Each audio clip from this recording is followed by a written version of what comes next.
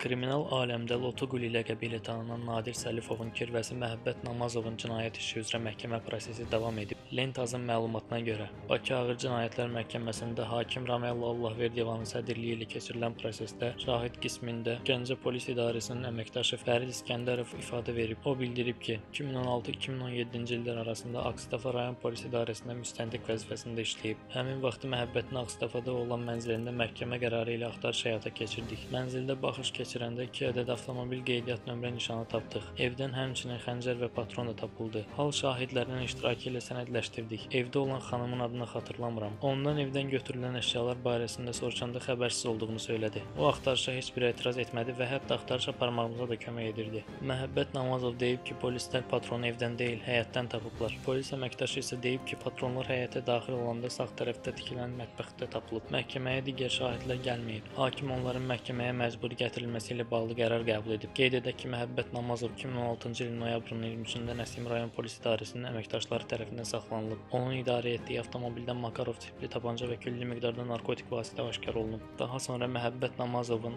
Ağstafa rayonunun Sadıqlı kəndində olan evində də axtarış aparılıb. Evdən də xeyli miqdarda patron tapılıb. Məhəbbət Namazov Cinayət Məcəlləsinin 228.2.2-ci qanunsuz olaraq təkrar odlu silah, onun komplekt hissələrini, döyüş sursatı, partlayıcı maddələr və qurğular əldə etmə, başqasına vermə, satma, saxlama, daşıma və gəzdirmə və 234.4.3 qanunsuz olaraq külli miqdarda narkotik vasitələri, psixotrop maddələri və ya onların prekursorlarını hazırlama, istehsal etmə, əldə etmə, saxlama, daşıma, göndərmə və satma maddələri ilə ittiham edilir.